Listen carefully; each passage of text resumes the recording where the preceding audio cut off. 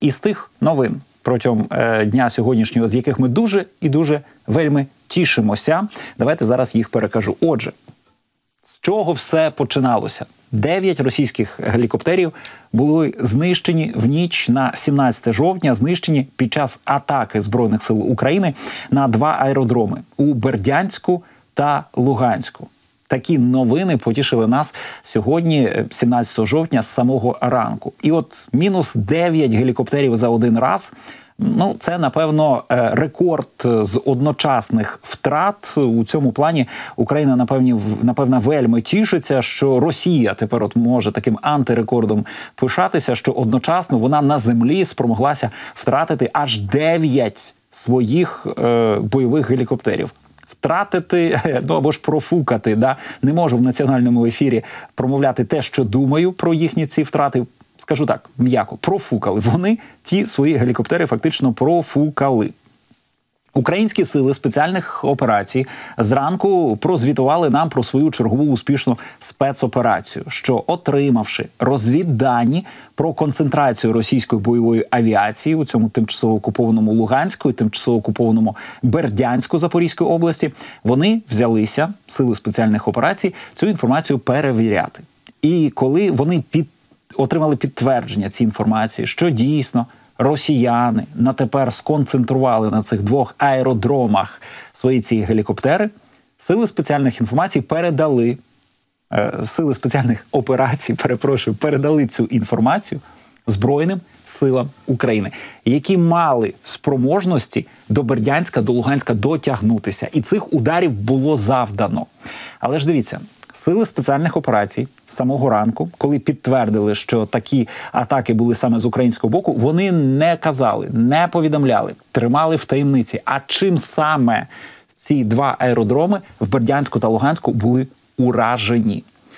Російські пабліки, тим не менш, вже з самого ранку взялися кричати про те, що Україною було використано ракети Атакамс, далекобійні ракети до Хаймарсів. Офіційно тому підтвердження ми не мали.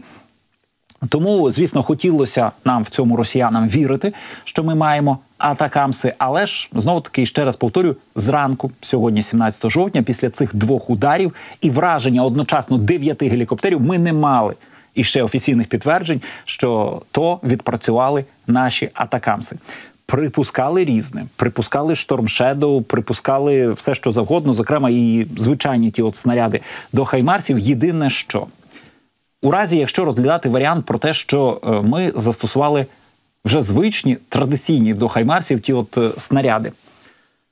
Тут е, важко було би все-таки цю версію розглядати серйозно. Чому так? Ну тому що Бердянськ-Луганськ 80-100 кілометрів відстань від лінії фронту. Снаряди до Хаймарсів летять якраз на 80 кілометрів, але ж зрозуміло, ніхто впритул до лінії фронту тим Хаймарсом не буде підлітати, під'їжджати, щоб на рівно на 80 кілометрів ті снаряди відправити. Це перший момент. Другий населений пункт іще далі за 100 кілометрів від лінії фронту. Тому там точно абсолютно версія зі снарядами до Хаймарсу не підходить. Ну і другий момент, що все-таки ми вже знаємо, що снаряди до Хаймарсу б'ють точково. Це високоточна зброя, і ми бачили на прикладі того, як вони пробували мости на Херсонщині, як ті снаряди працюють. І приходить розуміння, що накрити площу на відстані 100 кілометрів снарядом високоточним, який в одну точку б'є, не є можливим. Тому ця от версія від росіян, що дійсно українці застосували американські хаймарси з касетною бойовою частиною. Ця версія вона отримувала все більше прихильників. Ну бо інакше вже ставало зрозуміло, що інакше їх бути не може. Це точно атакамси. По тому про це почали писати іноземні змі. Про це написав Wall Street Journal, про те, що вперше, 17 жовтня 23-го року, вперше від початку україно-російської війни українці збройні сили України використали далекобійні американські ракети Атакамс, спроможні летіти на 150 кілометрів, і ті, які мають бойову частину касетну, тобто таку, яка спроможна накривати площі. Чому саме отакий нюанс про накриття площ касетними боєприпасами є важливим нюансом? Що для таких ну дуже дорогих ракет.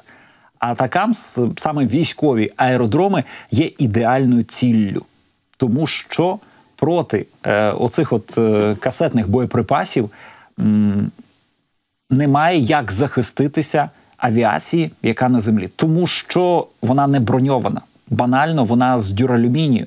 Тому найменше ушкодження цих літаків е, можливо зробити саме от таким видом боєприпасів. А касетні боєприпаси взагалі ідеальні, тому що вони спроможні накрити е, площу усього цього аеродрому і знищити усе, що там розташовано. Адже Знову ж таки, повертаючись до прикладу зі снарядами до Хаймарсу, бити високоточно, щоб от точно точно тим снарядом влучити конкретно в той літак, який припаркований там на тому аеродромі. Ну це дуже багато тих снарядів треба використати, і треба коригування вогню щоб розуміти, як треба вправо-вліво там наступний снаряд запустити, аби влучити конкретно в цей от літак. А якщо тих літаків з десяток або ж дев'ять штук, як от було на прикладі з Луганськом та Бердянськом, то отак, от кожен.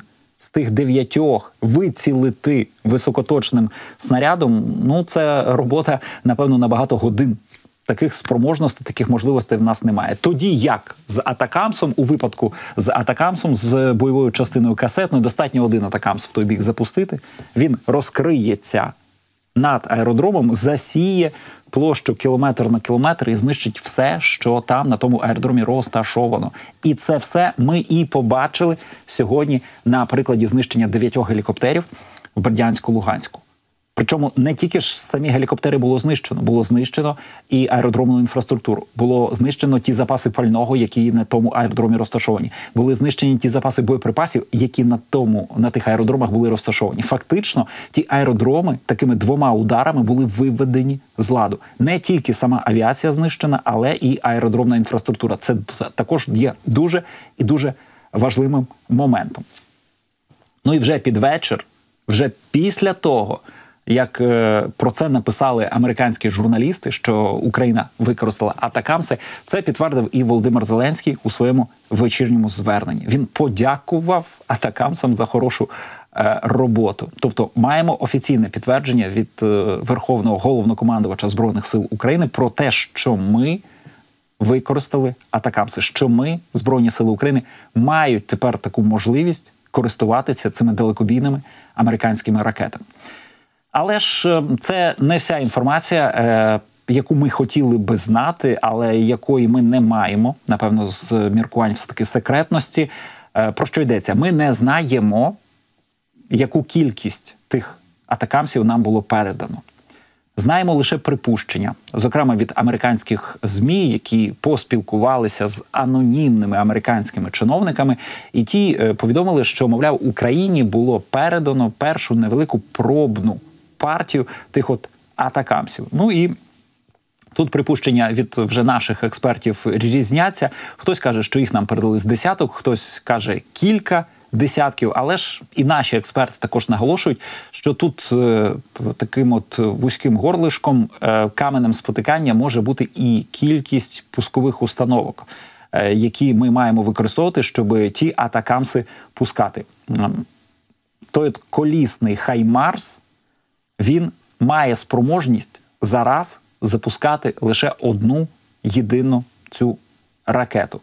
Той Хаймарс, який на гусеницях, і той, який інакше трохи називається, то він має спроможність нести два атакамси і запускати два атакамси в один момент. Але таких пускових установок в нас трохи більше е, аніж два десятки. Максимум, що ми можемо мати, це три десятки тих пускових установок. Відповідно умовно кажучи, там 20 тих атакамсів одномоментно ми можемо запускати. Ну і є розуміння, да ніхто не буде в одному місці концентрувати усі ті хаймарси, які ми маємо, щоб з того місця запустити там 20 ракет по одній-двох цілях. Так точно. Ми не будемо робити, тому що дуже висока ймовірність, що російська розвідка, зокрема через зрадників, матиме можливість виявити момент е, концентрації цих хаймарсів і завдасть по цьому місцю свого свого удару ракетного, не пошкодувавши все те, що вони там мають по своїх запасах.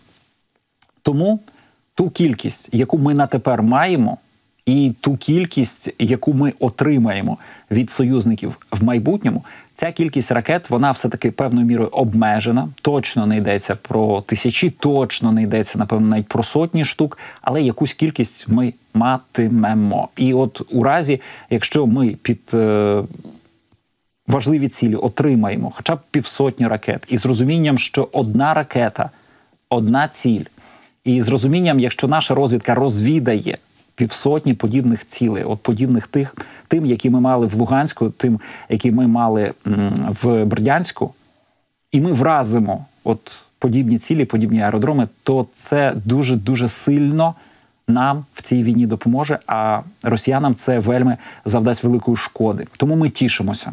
Ми дійсно тішимося, що наші союзники американці наважилися передати нам цей вид зброї. Ми тішимося, що не сталися ті всі їхні побоювання про те, що передавання таких ракет Україні призведе до ескалації, що мовляв Путін, дізнавшись про це, збожеволіє і потягнеться до червоної кнопки, натисне і використає у відповідь е, свою ядерну зброю. Ну він не має якоїсь іншої на тепер відповіді, ще окрім як своєї цієї ядерної бомби. Так от цього не сталося. Україна отримала атакамси. Україна використала атакамси, а небо на землю не впало. Путін не потягнувся. Путін зараз в Китаї він не потягнувся звідти за своєю ядерною кнопкою. Ну можливо, до речі, і підгадали такий момент, що він був в Китаї в той момент, бо Китай категорично проти того, щоб Путін ту ядерну зброю використовував. Можливо, саме такий момент підгадав використання атакамсів, і тоді це е, подвійна дяка за те, що настільки все спрогнозували, настільки все спланували. Але ж найгіршого не сталося. Небо на землю не впало. Ми мали, отримали атакамси, вдало їх використали. Тому хочеться продовження цієї історії. Хочеться більших тих ракет в більшій кількості і ще більш далекобійних, не тільки на 150, а на всі 300 кілометрів, е, не тільки з касетною бойовою частиною, але й з осколково фугасною, щоб ми мали чим і мали що запустити по Керченському мосту. Хочеться продовження цієї історії, але бачите, все свідчить про те, що продовження цієї історії воно буде йому бути бути допомозі від союзників тієї зброї, яку ми хочемо, ті, тієї зброї, яку ми просимо. Не так швидко воно, на жаль, все відбувається, як нам хотілося би. Але ж, бачите, напевно, все-таки підгадуємо ті е, моменти. Це я знову повертаюся до того того е, нюансу, що Путін в цей момент в Китаї перебуває, і можливо вирішили атакамси використати, щоб Путін був в той момент поруч зі своїм нинішнім хазяїном Сі Цзіньпіням, щоб е, він зміг сказати йому а-та-та, і не вздумай Путін зараз тягнутися до ядерної кнопки. Але ж. Очікуємо атакамсів на 300 кілометрів. Очікуємо. Я іще нагадаю, що ми ж то чекаємо F-16, А от е, в продовження, коли ми пройдемо і цей етап отримання сучасної авіації, чекаємо також і від американців томагавків, от і ще більш потужних, і ще більш далекобійних ракет, які ми би зараз е, дуже вдало і ефективно використовували задля того, щоб вдарити по путінському військово-промисловому комплексу. До прикладу, по місцю збирання тих от е, іранських шахедів, які Путін кожного божого дня по нас запускає. От мали б ми томагавки, ми б це питання миттєво вирішили. Але впевнений, що ми це все вирішимо і далі буде.